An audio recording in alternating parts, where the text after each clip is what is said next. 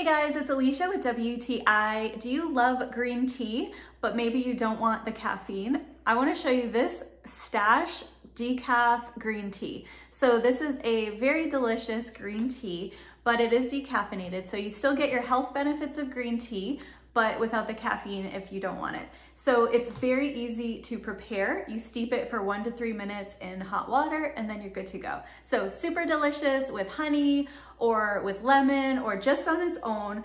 So a lot of people drink green tea to help with immunity and with the antioxidants that it provides. So it is a really nice choice if you're looking to add those things to your diet. It is also non-GMO and it comes in these little individually wrapped packages. So you could even pop it into your purse, take it to work with you and have it whenever you need it. So if you love green tea and you're looking for a nice decaf option, then I would definitely check out the Stash green tea decaf and that's my point of view.